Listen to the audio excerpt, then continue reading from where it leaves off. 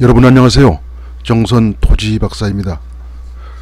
어, 오늘은 물건 양쪽으로 계곡물이 졸졸 흘러내리는 아주 작으면서도 값싸게 나온 임야가 있어서 소개해 드리려고 합니다. 어, 우리 임야는 정성군 북평면 북평리에 소재한 2,400여 평 규모의 임야입니다. 어, 용도 지역이 계획관리 지역이라 활용도가 높아 보입니다. 어, 매물까지는 시멘트 포장 도로에서 약 400여 메다 비포장 임도 등을 이용해서 갈 수 있습니다. 어, 그러나 노면 상태는 오래전에 개설되어 있는 도로라서 대체로 양호합니다. 어, 식수는 보시는 것처럼 계곡수를 이용할 수 있습니다. 아, 그러나 현재 전기는 없습니다. 다만 전주가 직선거리 200여 메터 이내 위쪽에 있어서 임야 소유주의 승낙을 받아서 설치도 검토할 수 있습니다.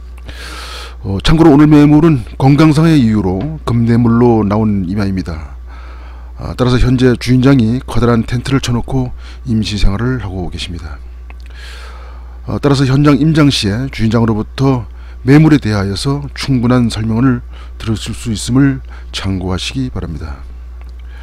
오늘 매물의 매도가는 3,800만 원입니다.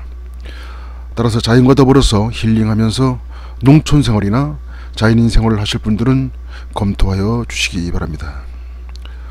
어, 그럼 지금부터는 매물 현황표를 확인하신 다음에 항공 영상으로 임야 주변을 자세히 살펴보도록 하겠습니다.